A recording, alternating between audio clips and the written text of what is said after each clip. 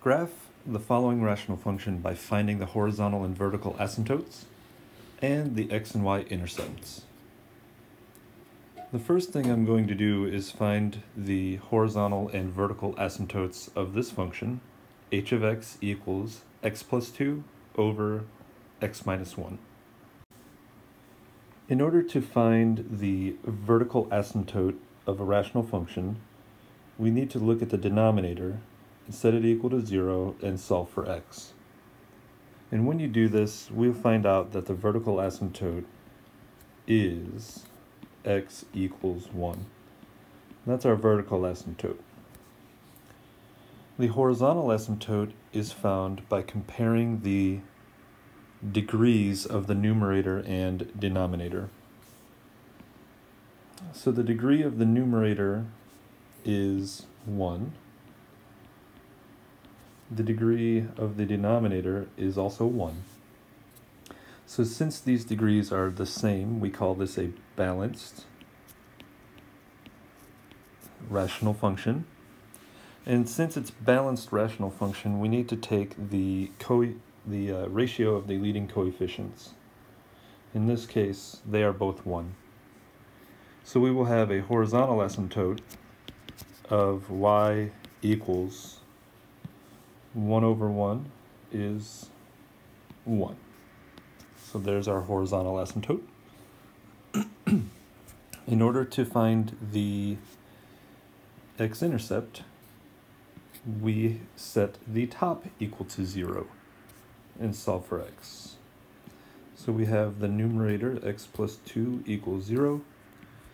And when you solve this for x, you get x equals negative 2.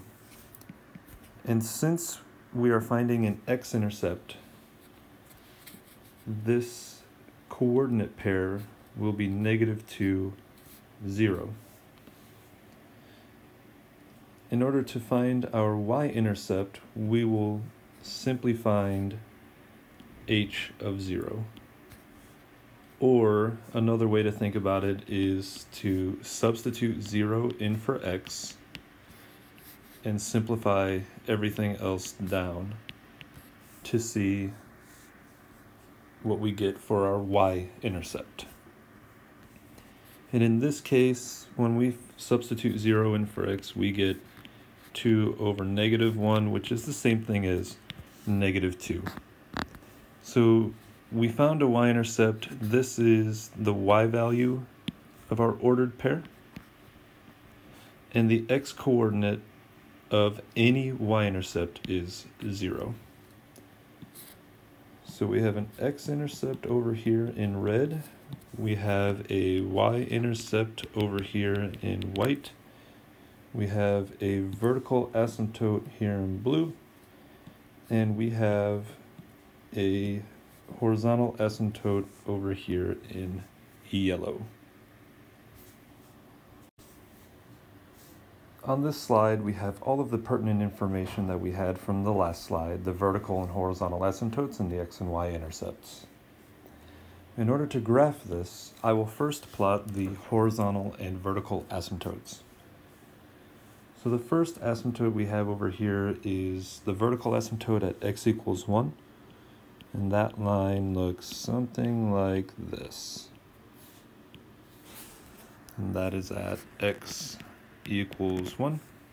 And we have a horizontal asymptote at y equals 1. And that looks something like this. And that's at y equals 1.